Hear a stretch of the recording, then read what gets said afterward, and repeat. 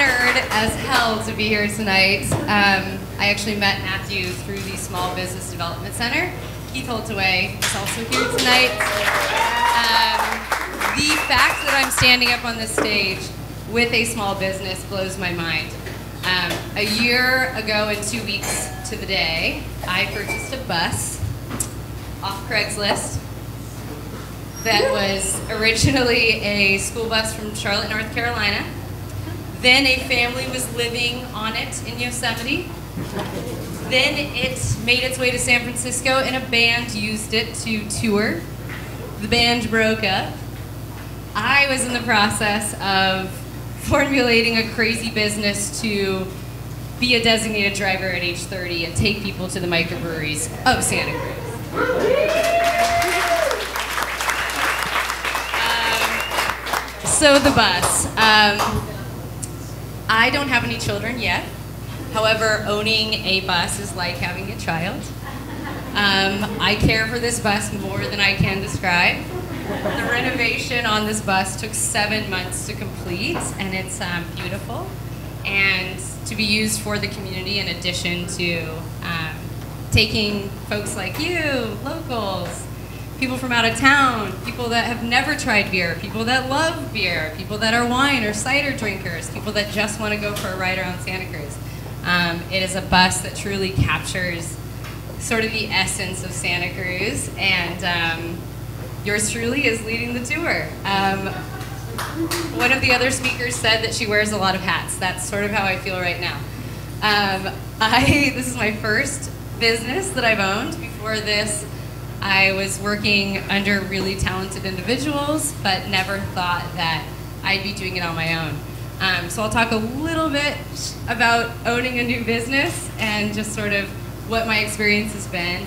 Um, after I made the commitment to myself to refurbish a bus and to actually go for it, it was all about, you know, what permits do I need? Is this even gonna work? I mean, I sat down with each of the brewery owners with like a five page business plan and like a jackass smile on my face being like, hi, I'm Annie. Like, I wanna take people to you. Will you allow me to? Um, fortunately, they all said yes.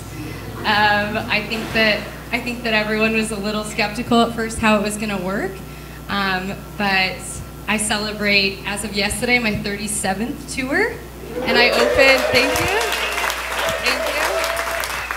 and I opened July 4th weekend, and that was, you know, me basically turning the key and going, "Let's get this baby on the road," literally.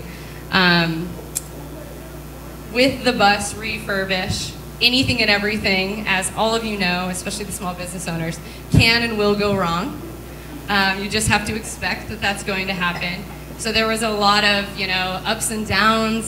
Is this going to happen? And um, and with the help of the community and friends and people saying, I will commit three hours on a Saturday to help you roll paint a bus, and I will help you pick out, you know, new paint for the inside and uh, grease the wheels and in my mechanic and I's case, do a complete head job on a huge engine in a bus two weeks before I was supposed to launch.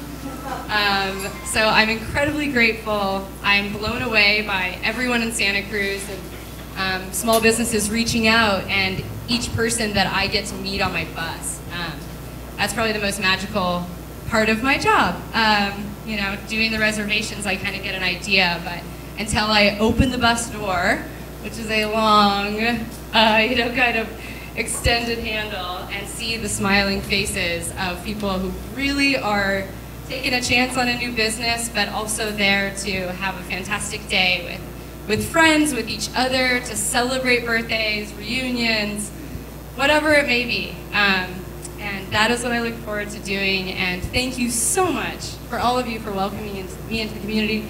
Give me a honk when you see me on driving the bus. It's always my little head behind there. You'll see. Thank you so much.